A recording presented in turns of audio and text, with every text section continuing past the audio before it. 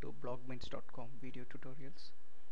In this session we are going to see how to turn off the app notification from a Windows 8 system.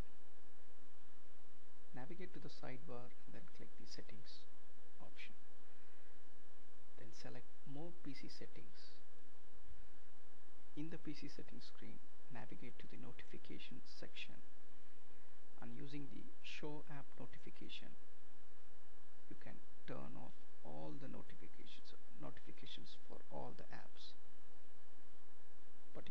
be more specific and want to choose the app from which you want to turn off. Then you can navigate to the bottom section and say for example you don't want to receive